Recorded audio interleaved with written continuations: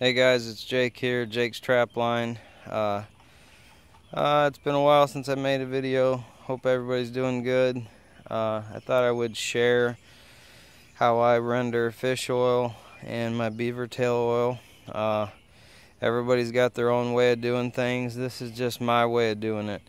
Uh, I've learned over trial and error over many years, making lots of messes and wasting a lot of money doing, trying to make my own stuff for what I've spent here, this is an old dog cage. I had it already.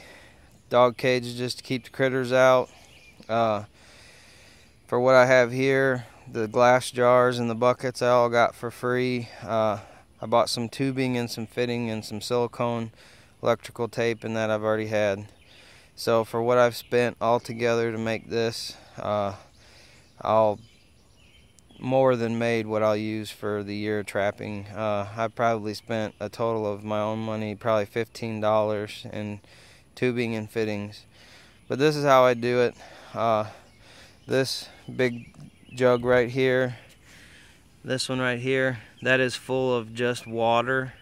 Uh, that bucket is completely full, well about an inch from the top.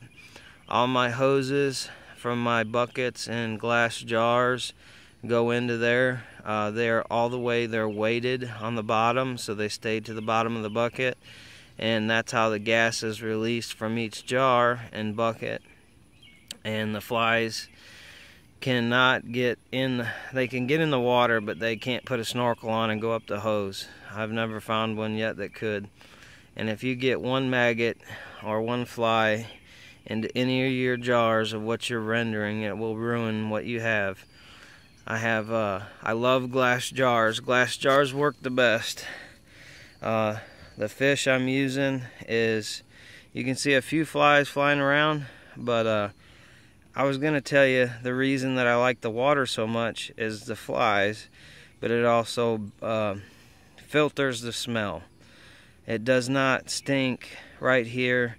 I mean, I'm on my little concrete junk pad behind my house my neighbors don't want to kill me because they're not smelling rotten fish right now. There's a very faint smell coming out of here. And there's only a few flies flying around trying to figure out where it's coming from. But the water's filtering the smell. I love the glass jars because the sunlight can shine through it and render it true. Uh, I did not have enough glass jars to do all my fish. So some of my fish is in that bucket. I do have another setup somewhere else that I'm making uh, fish oil in, but here's my setup at home. Uh, the dog cage, like I said, is just to keep the critters out at night. Uh, no flies can get in my jars. Everybody's got their own way and system that they make fish oil and that, but this is mine. Uh, I've done a lot of trial and error but the glass jars just seem to make a pure better oil because of the light getting through.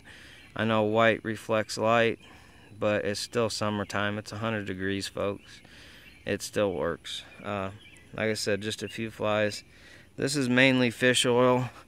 The two jars back here in the back. Right here and here.